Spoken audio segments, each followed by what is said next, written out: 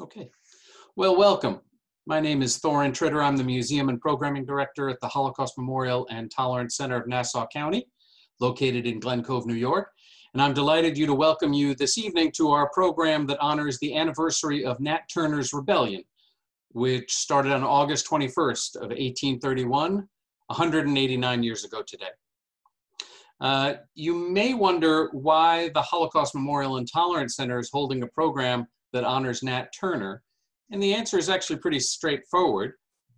Uh, our mission is not only to teach about the history of the Holocaust, but also to teach about the dangers of anti Semitism, racism, bullying, and all manifestations of intolerance. I'll add that I have a bit of a personal interest in this history as well. I have had the honor over the past several years of taking groups of adults and students to Germany and Poland on a number of occasions to study the history of the Holocaust at the sites where the Holocaust took place. And I often heard a pair of common reactions on those trips. On the one hand, participants were often impressed with the way Germans have confronted their past through memorials that highlight the atrocities that Germany committed and challenge their nation to face their own history. The other reaction, however, that I heard on many of my trips was from students and adults who recognize that Americans have not done nearly so much to confront the darkest parts of our country's history, particularly when it comes to the history of slavery and racism. Many on my trips came away from Germany believing that we in America need to do more to highlight the horrors of slavery and the long-term impact slavery had on our country. Their comments have moved me to think more about this. Earlier this year, in April, the Holocaust Memorial and Tolerance Center, along with thousands of other synagogues and historical museums across the country and even across the world, marked the anniversary of the largest Jewish uprising against the Nazis during World War II, the Warsaw Ghetto Uprising, with a commemorative program. And given our mission, along with recent events that have made it so clear that as a nation we need to do more to face the racism and hate that has shaped our country, we decided to hold a program this year to mark the largest slave uprising in American history, Nat Turner's Rebellion. I'm going to talk today about both the Warsaw Ghetto Uprising and Nat Turner's Rebellion. They are two events that are not often paired together. Uh, one largely is discussed only in Holocaust history classes or by Holocaust museums. The other largely is discussed only in African American history classes or African American history museums. And yet I think there are some interesting lessons to draw from looking at these events together. Let me explain, to begin with, some of the history of these two events. Nat Turner was born a slave into Southampton County, Virginia in 1800. He was one of more than 340,000 slaves in Virginia in 1800. That made up about 40% of the state's population. He was born at a time when it was a turning point in American slavery. 11 years earlier, when the Constitution was ratified, many Americans believed slavery as an institution was coming to an end and would die out naturally. Slave imports into the New World were declining. Slave prices were falling because the crops grown by slaves, tobacco, rice, and indigo, did not generate the income needed to pay for the slave's upkeep. Cotton, which we often associate as the cash crop of American slavery, was an insignificant blip on the agricultural map of the country in 1790, largely because of the laborious and time-consuming process of removing, removing the cotton seeds from the cotton fibers. You can see here that cotton was only a minor crop in America in, in 1790, grown only in a few small parts of South Carolina and Georgia. But in 1793, a young Massachusetts man named Eli Whitney invented the cotton gin, which instantly made cotton production more financially viable. His simple engine could be used to separate the seeds from the threads easily and at a low cost. By the time Nat Turner was born seven years later, cotton production was rapidly expanding. And by 1830, a year before his rebellion, cotton accounted for a full 41% of the nation's export revenues. And with the growth of the cotton crop came a rebirth of American slavery. The two came hand in hand. The slave population of Southampton County, where Nat Turner lived, had risen to almost 8,000 by 1830, and slaves made up just under half of the total population of the county. Slavery was omnipresent and dominated Nat Turner's world. It was all he knew, yet he knew it was wrong.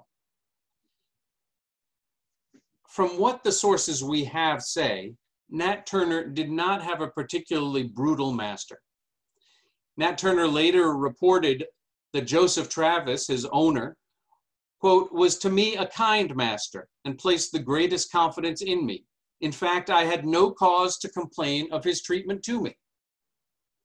And from the available sources, it also appears that Nat Turner had a relatively stable childhood, later saying that both his parents influenced his youth and that he knew at least one of his grandfathers. But as with all Black families in the antebellum South, slavery ripped apart Nat Turner's family. To say that he had a relatively stable childhood is to admit that he probably did not live with his parents for anything but a short time, and that even when he did, care and uh, their care and authority was always limited by the decisions made by their white slave owners. Regardless of whether Nat Turner felt his owner was kind or whether he was able to maintain any relationship with his family members, Nat Turner was treated as a piece of property to be used, treated, sold, and controlled as his white owner wanted. He was whipped when he showed any resistance and was only provided the food and comfort that was issued to animals. He found salvation through religion, and by 1831 was preaching the Bible to his fellow slaves, some of whom referred to him as the prophet.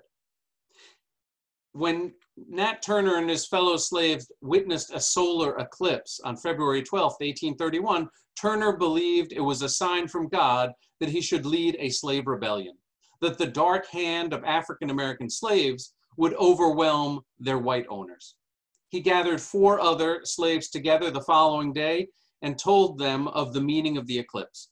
They agreed that they would work together for a slave uprising, but they kept the plan a secret from anybody else, aware that any leakage of information about such a plan was sure to lead to disaster. The group originally planned their rebellion to start on July 4th, when even slaves knew the Declaration of Independence had been signed with the famous line, all men are created equal, endowed by their creator with certain inalienable rights, life, liberty, and the pursuit of happiness. But Turner felt ill on July 4th, and so the uprising was delayed. Finally, on August 21st, 1831, the four conspirators, along with three other slaves, gathered and launched the uprising. It was a surprisingly small group but Nat Turner knew his religious interpretation of the eclipse would not spur many slaves to join him. Instead, his plan was for the revolt to grow by attracting slaves as they went. The group began at the Travis farm, Turner's owners, and then went from house to house freeing slaves and killing all the white people who they encountered, men, women, and children. The revolt spread on Monday, eventually gathering a group of 70 slaves and killing approximately 60 whites.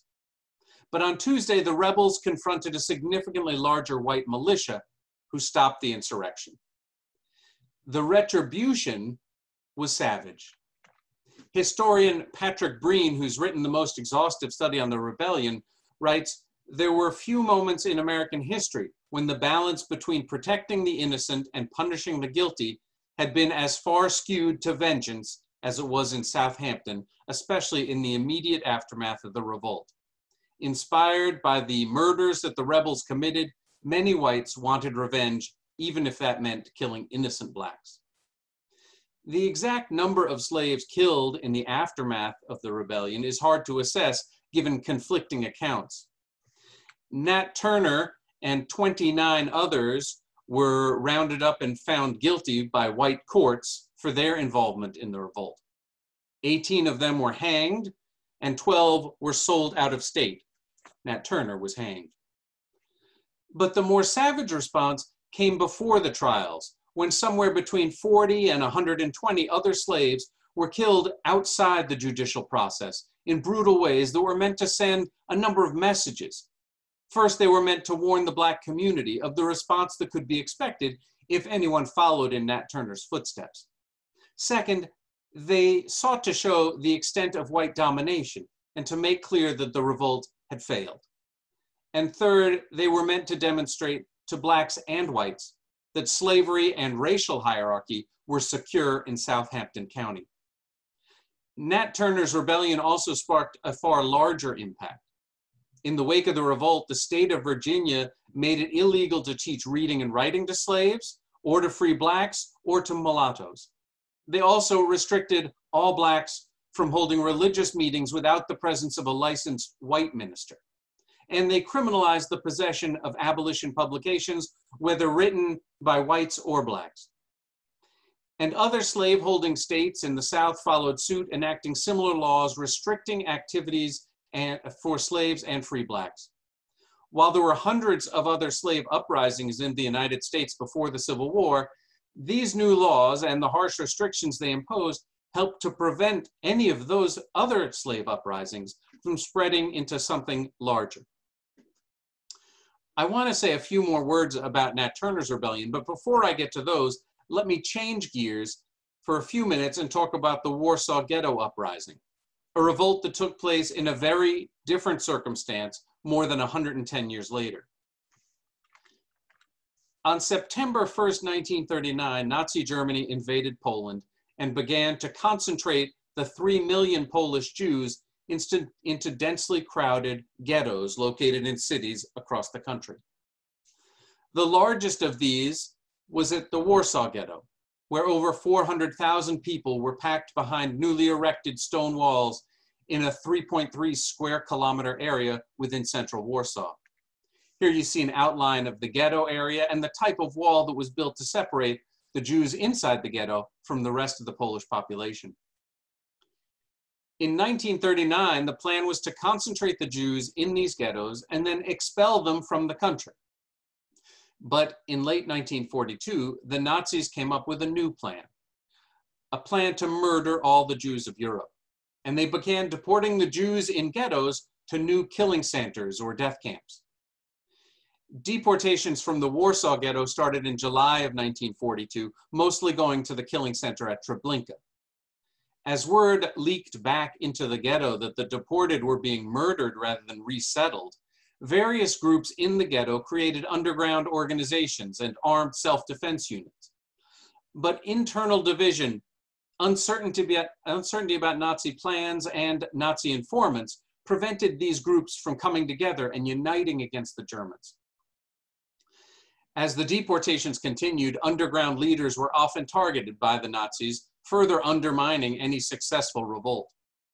By September of 1942, when the deportations came to a halt, the German authorities had sent some 300,000 Jews to their death, leaving only about 35,000 official residents in the ghetto, along with another 20,000 or so who were hiding. For these remaining Jews, these 55,000, deportation and death seemed inevitable. When the deportation resumed in January of 1943, a group of Jewish fighters were ready and attacked the Nazi guards as they forced a group of Jews out to transfer points from the ghetto. Most of the Jewish fighters were killed in the battle, but they enabled many of those who were supposed to be deported to escape. The Nazis then suspended further deportations. Encouraged by their apparent success, which they believe had halted the deportation, members of the ghetto underground began to plan for a larger fight when the Germans attempted to empty the ghetto, which they expected would come soon. That fight came on April 19, 1943, on the eve of Passover that year. When the SS and police entered the ghetto to begin rounding up the Jews, the streets were deserted. Then, on a signal, Jewish fighters armed with what few weapons they had been able to procure, along with homemade hand grenades, launched their uprising, forcing the German troops to retreat out of the ghetto. The Nazis, of course, returned with greater strength, but continued to face armed resistance. Though the German forces broke the organized military resistance within days of the beginning of the uprising, individuals and small groups hid or fought the Germans for almost a month. You can see here pictures of the Nazis capturing some of the ghetto fighters. The pictures were taken for the German general, Stroop, to send back to his superiors in Berlin to show his effectiveness. But they also show that those holding out included men, women, and children. Eventually, the Germans resorted to systematically burning houses block by block using flamethrowers and fire bottles and blowing up basements and sewers to leave no hiding places available for the Jews. Finally, after almost a month of fighting, the German general claimed victory on May 16, 1943. The general reported that he had captured 56,000 Jews and destroyed 631 bunkers.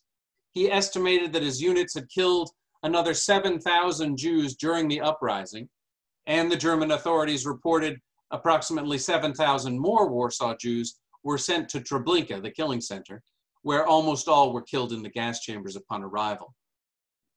The remaining Jews, some 42,000, were largely sent to the Majdanek concentration camp, where, with the exception of a very small number, they were murdered in the Nazi Operation Harvest Festival in November, the largest single massacre of Jews by German forces during the Holocaust. The Nazis' systematic destruction of the buildings in the ghetto left the area and the city in ruins. Here's an aerial photograph showing the destruction of the ghetto, the northern part of the ghetto.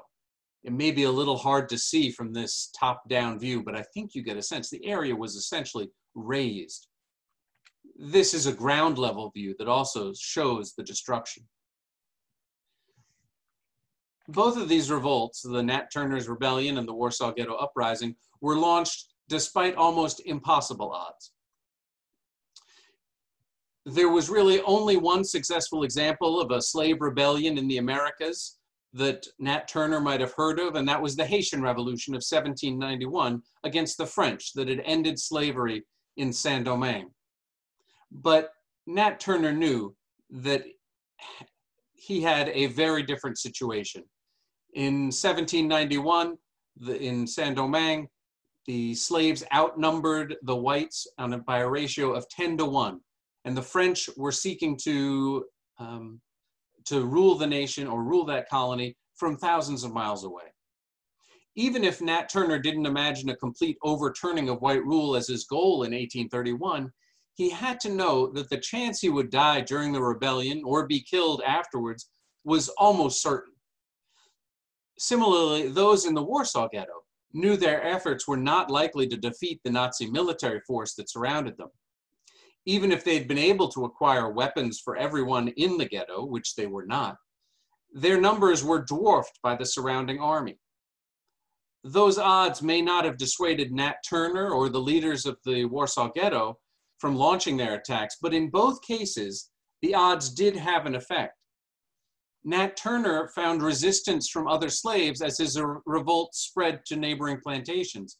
He'd expect, he had expected slaves would flock to his call, but instead he found many that ran from him, fearing the failure of his rebellion and the retribution that would follow. And in the Warsaw Ghetto, it took months of deportations to get agreement about the need to unite against the Germans and to respond with physical force. Somewhat counterintuitively, the impossible odds actually served to spur on the leaders of both these uprisings. If Nat Turner had seen some positive future in his enslavement, he probably would not have risked his life in the uprising. Those that joined him also largely fought because they were willing to lose their lives rather than continue living under the conditions that faced them on a daily basis. And in the Warsaw Ghetto, the eventual recognition that the Nazis planned to kill every single person in the ghetto is what helped spur some of the residents to say that if they were going to die, then they should at least try and take down some of the Nazis with them.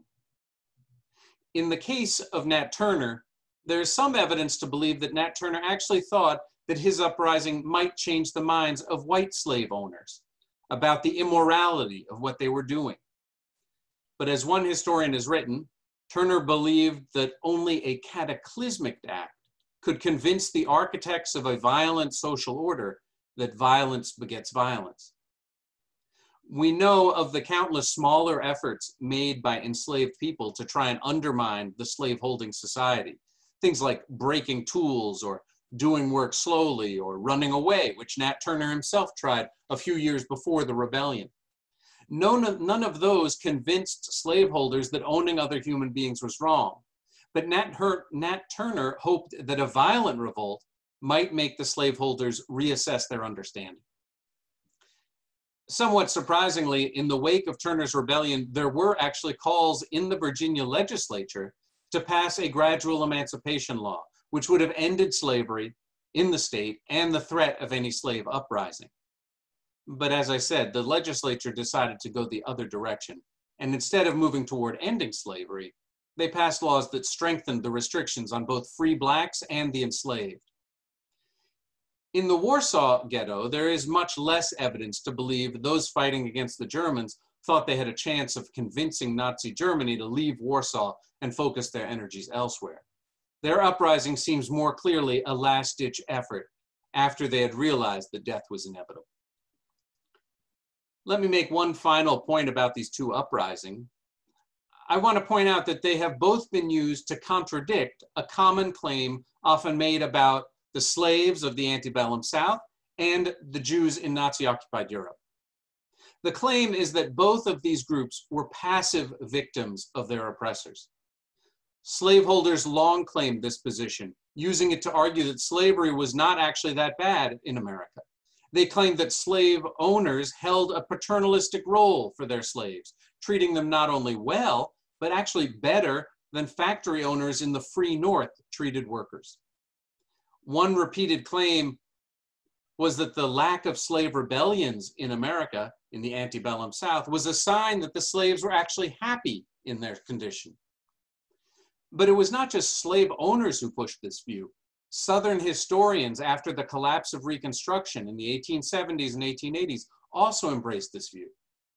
James Schouler, one of the leading historians in 1882, claimed slaves had an innate patience, docility, and childlike simplicity. Those words might have some positive connotations. He also wrote that slaves were from, quote, a black servile race, sensuous, stupid, brutish, obedient to the whip, and children in imagination. Henry Louis Gates, one of the leading historians of recent years, wrote in response to this Consider how bizarre this was.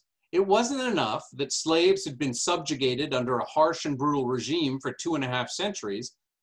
Following the collapse of Reconstruction, this school of historians, unapologetically supportive of slavery, kicked the slaves again for not rising up more frequently to kill their oppressing masters. The Nat Turner Rebellion, of course, undercuts the position. And abolitionists, even in the immediate wake of the rebellion, highlighted it as a way to point out the fallacy of slaveholder claims about the good condition that slaves were living in. In the last 50 years, historians have dug up details of hundreds of other rebellions and raised the many other ways that slaves fought back, again, highlighting that the slave owner's argument about the, the good conditions slaves lived under completely false. A somewhat similar image, though, can be found about Jews during the Holocaust. The seeming passivity of Jews who were marched in orderly lines to rail cars and then into the gas chambers, like here on the ramp at Auschwitz, created the sense after the war that Jews accepted their death without opposition. I've heard from several survivors who lived in Israel after the war that they never spoke about their experiences because Sabras, native born Jews in Israel who did not experience the Holocaust, were critical of European Jews for allowing the Holocaust to happen. This was not a view that was unique to the Sabras, it was a common view held by people in countries all across the world. In antebellum America, restricting teaching about how to read or write and cutting off communication helped to isolate slaves and prevent them from rebelling. That kind of control and restriction wasn't possible in the 1940s, but there was one other factor that worked to undermine Jewish resistance during the Holocaust hope. Jews held on to the idea that by being compliant and following Nazi orders, that would enable them to survive to the end of the war. In ghettos all across Europe, Jews thought that if they were productive and useful to the Nazis, they would be saved.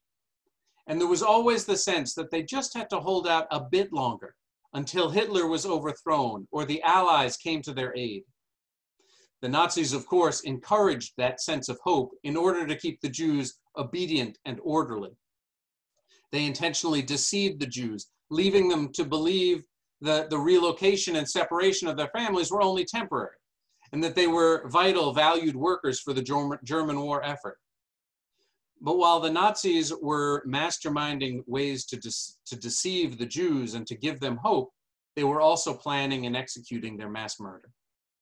I don't need to go into the ways that the Nazis undermined resistance through brutality, or the fact that very few Jews or observers from other countries grasped, even in the, in the 1940s, the previously incomprehensible plan by the Nazis to murder millions of Jews.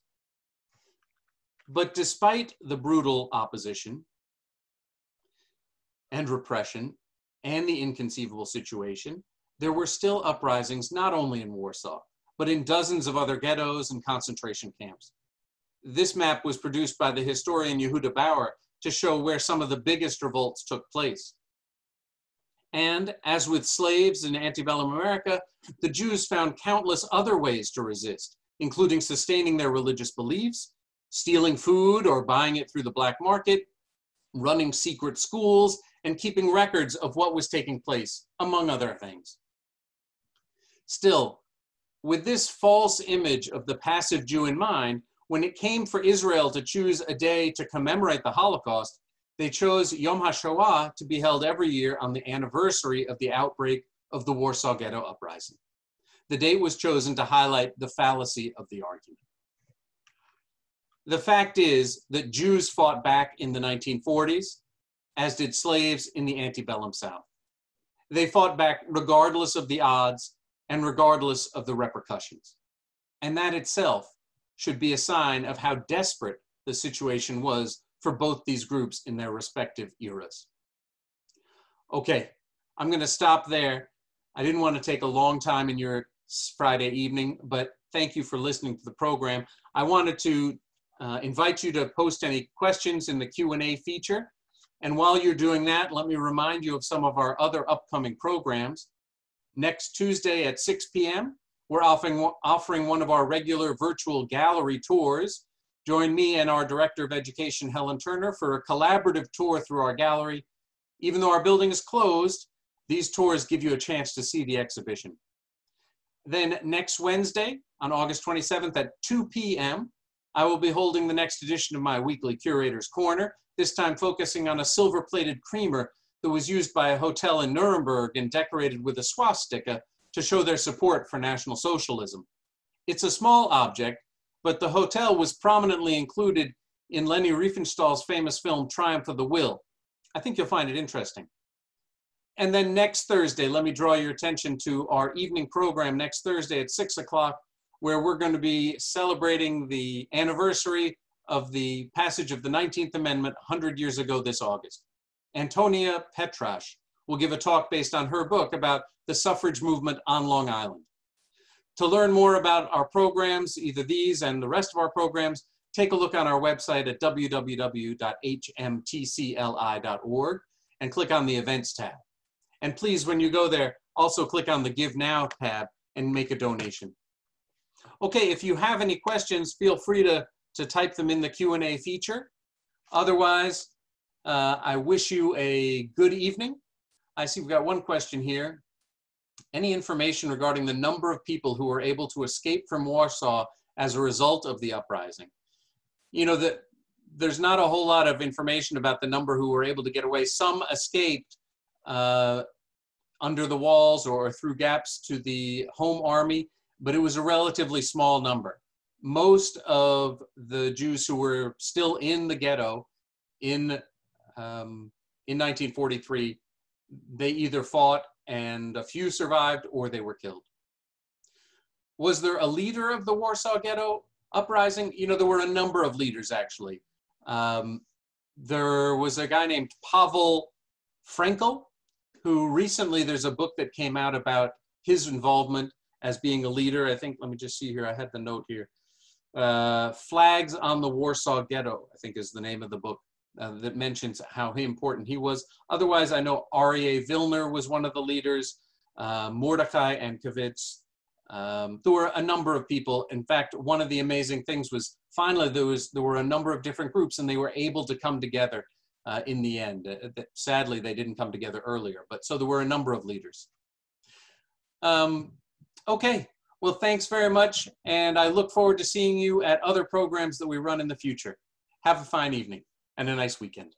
Bye-bye.